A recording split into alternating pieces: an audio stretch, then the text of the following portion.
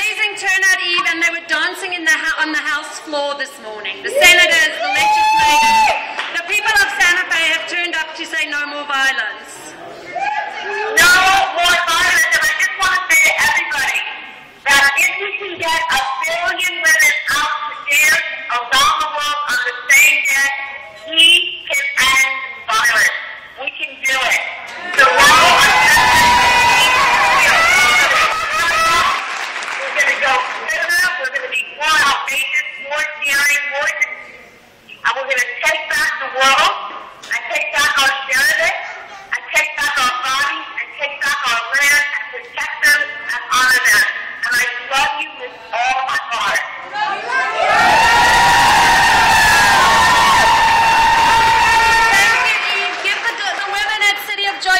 and kisses from us all, Christine and everyone with you.